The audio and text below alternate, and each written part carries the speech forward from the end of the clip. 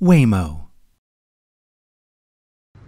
Back in 2009, in our early days at Google, we started working on self driving cars. Today, we're called Waymo, and our fully self driving cars are on the road. A white minivan pulls up to an intersection. They use a range of technology we've built from the ground up to understand the world around them and get you where you need to go. It scans the area. You're about to see how it all works and what it feels like to ride in our car.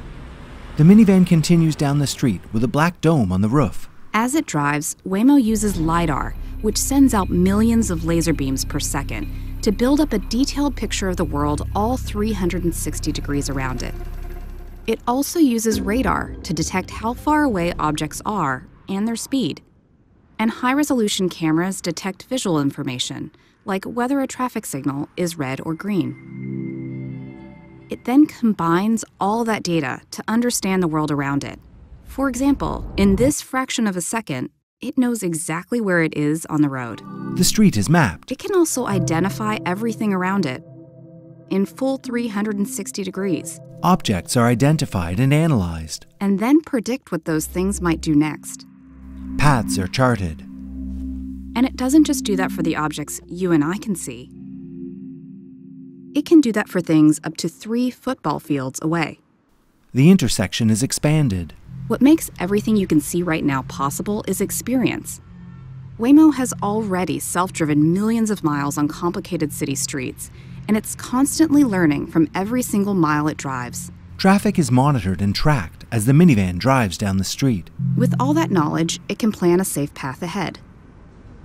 In this instance, giving that cyclist enough room to cycle past us, and also looking out for that pedestrian on the sidewalk. The minivan pulls into a parking lot. And when it comes to making decisions, this is a good example of how Waymo doesn't just take into account your safety. It also makes sure that both you and the people around you feel secure and at ease. It slows, then steers around pedestrians. So, now that you know how Waymo works, it's time to take your first ride in one of our cars. In the back seat, Take a look around. You're now riding in a fully self driving car. Some things might immediately stand out. The fact that there's no one in the driver's seat, no one turning the wheel, and the screens, which show you what the car is seeing and the route it's taking. But you might also notice that the ride feels a lot like being driven in a regular car. And that's the way it should feel. All this technology, which allows Waymo to see, identify, predict, and plan, should make an extraordinary ride feel completely ordinary and create a very normal journey that simply gets you from A to B safe and sound. And while it does all that, all you have to do is sit back, relax, and enjoy the ride.